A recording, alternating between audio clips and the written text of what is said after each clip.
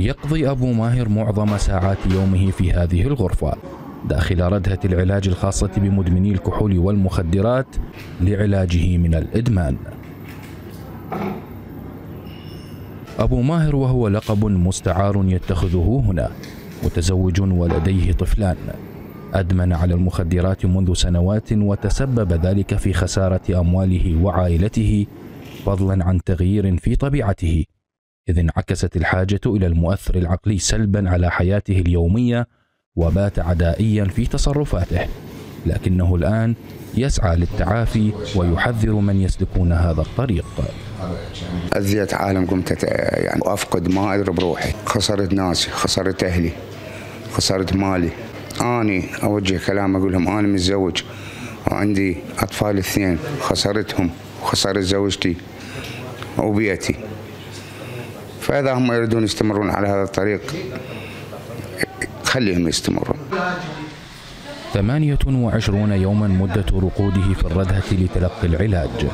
ولا يزال مستمرا هو وكثير من المدمنين على المخدرات والكحول. يتلقى العلاج ليعود إلى حياته السابقة.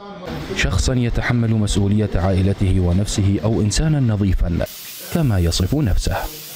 صار لي 28 يوم الآن والسبب اللي خلاني أجي لهنا هو أنا جيت أنا أتعالج ومن ذاته أنا جيت اتعالج العلاج بصورة صحيحة وجيدة وكل وقت بوقته زين؟ وأنا أصبحت هسه إنسان نظيف أحس بروحي.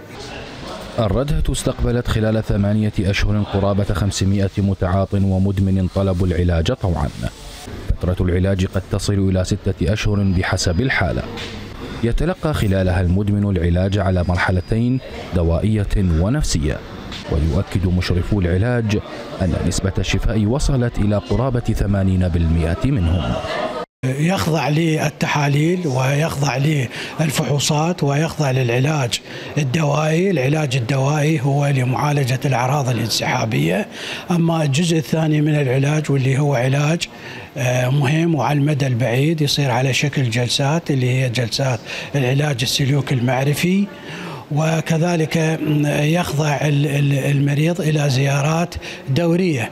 الزيارات الدورية قد تستمر آه، ثلاثة إلى ستة أشهر وبعدها آه، يخضع المريض إلى تحاليل اللي هي تحاليل نهائية وبعدها يعطى القرار على أنه متشافي. نسبة التشافي حوالي بلغت آه، للأشهر الثمانية المنصرمة حوالي 80% إضافة إلى هذه الردهة التابعة لدائرة صحة بال فإن وزارة الداخلية افتتحت مصحة قصرية لعلاج المدمنين بسعة 400 سرير في محاولة لمعالجتهم خلال فترة قضاء محكوميتهم بدلا من الرقود في السجون.